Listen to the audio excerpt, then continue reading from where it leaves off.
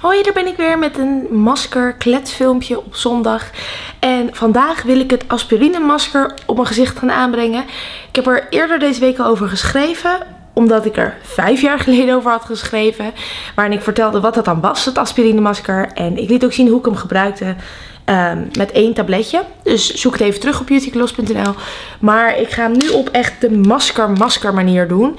En dat is dat je meerdere pillen neemt en die verpulvert en mixt met eventueel iets. Ik ga het met honing mixen nu. En dan over het gezicht aanbrengen. Want ik heb behoorlijk last van rode bultjes en puistjes en dingetjes hier. Dus ik wil gewoon over mijn hele gezicht aspirine masker aanbrengen. Ik krijg wat opmerkingen van mensen die zeggen... Uh, ik ben eigenlijk alleen benieuwd naar het masker en ik heb geen zin in jouw geklets. Dat is allemaal prima. Daarom doe ik expres het volgende. Elke keer bij zo'n masker kletsfilmpje begin ik met masker en eindig ik met masker. Dus zeg maar wat ik ervan vond en hoe het resultaat en zo. Dus uh, ik raad je aan het moment dat ik mijn mond opentrekken begin te praten over van alles. Spoel gewoon lekker door tot het einde. Tot, uh, ja weet ik veel, uh, 20 seconden voor het einde of zo. En dan zie je dat, dat ik het eraf haal en wat mijn mening ervan is. Nou, wil je meer weten over het aspirine-masker? Ga dan even terug naar beautygloss.nl. Scroll even naar beneden. Ik ga nu dus uh, de gezichtsversie doen. En wat ik daarvoor nodig heb zijn een paar aspirinepilletjes. Drie of vier. Ik doe er wel een stuk of vier, denk ik. En ik heb deze dus in Amerika gekocht. Omdat die een stuk goedkoper zijn dan hier in Nederland. En hier doe ik honing bij. En honing is op zichzelf al een heerlijk gezichtsmasker. Maar met aspirine is het natuurlijk helemaal super. Kijk, dan moet je eigenlijk breken en mixen met de honing.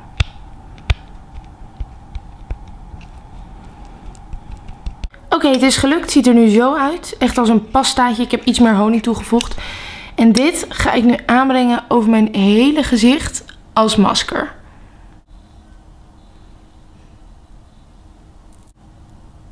Zo, het zit nu op mijn gezicht en ik ga het ongeveer een half uurtje laten zitten.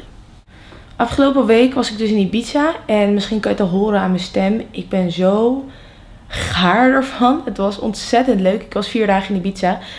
Um, van maandag tot met donderdag. En ik heb daar zoveel gefeest. Ik vind het echt geweldig. Ik wil zeker weer terug. Ik heb Major Laser en Skrillex achter elkaar gezien. Oh, het was zo cool. Maar uh, op de terugweg hadden wij super erge vertraging. Het is echt best wel een zielig verhaal. Er was een kind onwel geworden in het vliegtuig. Precies op het moment dat we zouden opstijgen. Nog nooit zoiets meegemaakt. En uh, ja, toen moesten we weer terug. En het, ja, het was heel zielig. Het kindje had helemaal stuittrekkingen en zo. En, oh, um, ja, dus we zijn zo vroeg. We zijn vroeg in de ochtend eigenlijk, zou je kunnen zeggen, in Nederland aangekomen. Terwijl we s'avonds laat, half één of zo, hadden we moeten aankomen. En ik ben er gewoon kapot van. En het was zo erg. Toen kwam ik thuis en de volgende dag had ik allemaal afspraken in Amsterdam. Maar het waren allemaal dingen waar ik heen wilde. Zoals bijvoorbeeld de boekpresentatie van Tom. Die heeft een boek uitgebracht. Ik wilde toch echt mijn support laten zien. En uh, ook ik moest naar mijn boekhouder. Die had me met spoed gebeld terwijl ik in uh, Ibiza was. Dat ik zo snel mogelijk erheen moest zodra ik terug was.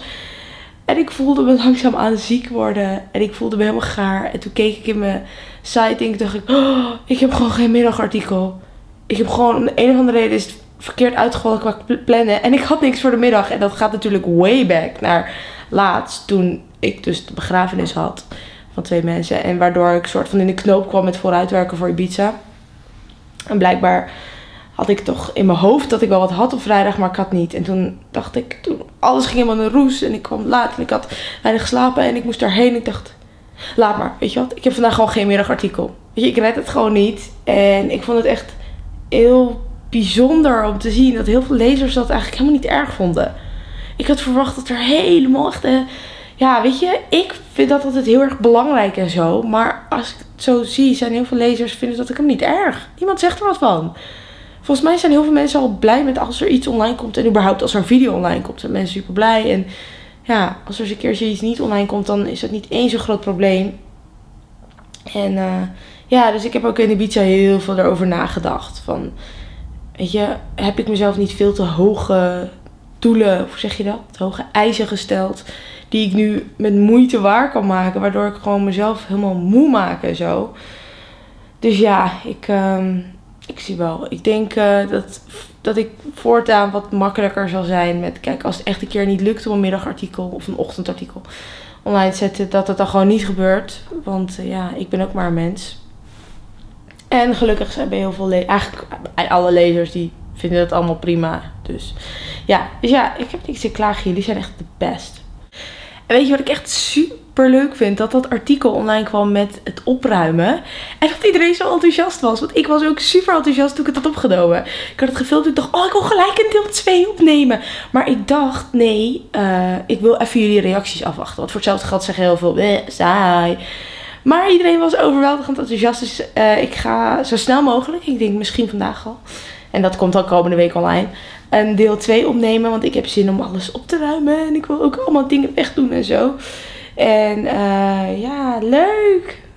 Laat even weten of jullie het erg zouden vinden als het één keer in de week zo'n video wordt. Gewoon, ik weet niet welke dag, wat, maar ongeveer gemiddeld één keer per week dan zo'n opruimvideo. Want ik, ik heb ook geen zin om er maandenlang over te doen om één kast op te ruimen, weet je wel. Dan heb ik liever dat ik gewoon best wel snel elkaar opruim en dat dan gewoon redelijk snel één keer in de week upload.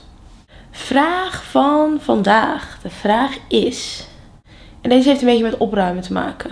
Zou je liever altijd een opgeruimd, mooi, net huis hebben, maar daardoor ehm, 10 uur extra in de week kwijt zijn aan schoonmaken en opruimen? Oftewel 10 uur dat je echt staat te boenen en staat dingen, dat je niet iets anders kan doen? Of zou je liever een uh, rommelig huis hebben, maar die 10 uur vrij hebben? En onthoud, 10 uur, dat is iets meer dan één werkdag.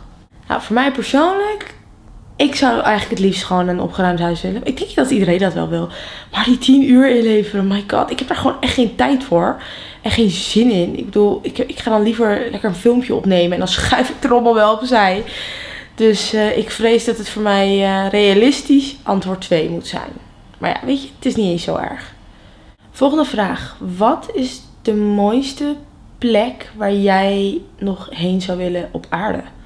Op reis. Dus wat is de plek? Stel dat geld geen issue is. De plek waar jij heen zou willen.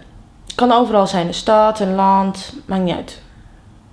Ik zou heel erg graag naar Nieuw-Zeeland willen. Ik denk dat het soort doel wordt voor mijn leven om dat ooit te doen als ik wat ouder ben. Heel veel mensen om me heen, eigenlijk iedereen die een wereldreis heeft gehad, aan die vraag ik altijd: wat is de mooiste plek waar je bent geweest tijdens je wereldreis? En ze zeggen allemaal Nieuw-Zeeland. Allemaal. Dus iedereen zegt dat Nieuw-Zeeland echt iets is dat moet je gezien hebben. Maar het is zo ver weg en echt duur. Dus ik denk dat dat iets is, dat, dan moet je ook echt wel een maand gaan rondreizen of zo, weet je wel. Dus ja, ik denk dat ik heel graag naar Nieuw-Zeeland zou willen. Sowieso heb ik echt zo'n lijst van landen waar ik nog heen zou willen. Ik zou heel graag eh, naar Australië willen. Um, ik zou heel graag naar Suriname willen.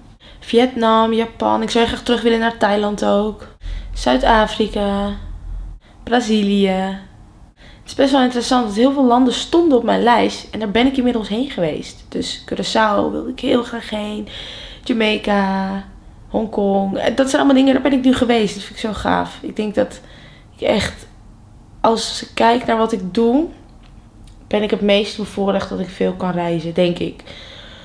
En natuurlijk dat ik gezond ben en alles. Maar gewoon, weet je, als ik kijk naar mijn leven, dan is dat hetgene waar ik het meest happy over ben. Dat ik heel veel kan reizen. Alright, ik laat het masker nog even erop zitten. En dan spoel ik hem er straks af. En dat doe ik met mijn handen zo, zodat het een beetje ook scrubbend eraf gaat. En dan laat ik jullie zo het resultaat zien.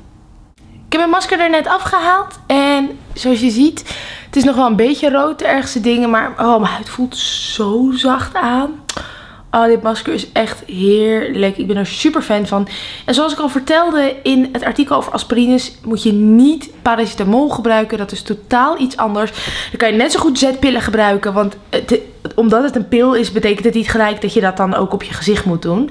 Dus aspirine, aspirine, aspirine. En uh, ik zal het artikel hieronder nog voor zekerheid even linken voor degenen die niet kunnen lezen of gewoon niet hebben gelezen. Uh, ja, dus ik ben echt heel erg te spreken over dit masker. Wow, mijn huid voelt echt geweldig aan. Het is wel een klein beetje rood hier nog, maar dat is meer omdat ik nu eraf heb gewassen en ik heb best wel zitten boenen met die handdoek. Dus um, ja, ik hoop dat jullie het leuk vonden. Bedankt voor het kijken en ik zie je snel weer. Doei!